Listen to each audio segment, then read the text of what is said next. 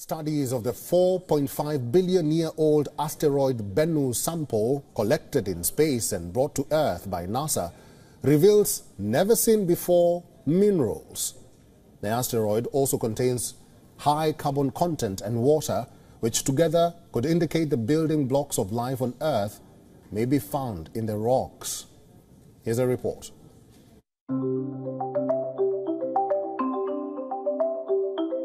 A rocky relic is all set to reveal the most astonishing secrets. And why not? The relic is from Bennu, once seen as a potential doomsday asteroid. Samples from this near-Earth asteroid were brought by NASA's pioneering OSIRIS-REx mission. They hold answers not just to questions on the building blocks of life, but also on strange new minerals. Bennu has a surprising reservoir of a mineral called magnesium phosphate. These bright white particles are a rare find in astro materials.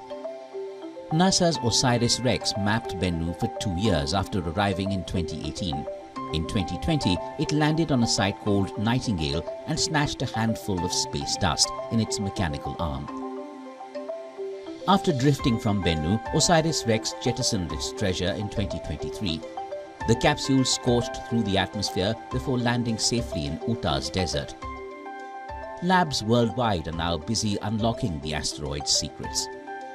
The secrets held within the rocks from the asteroid will be studied for decades to come.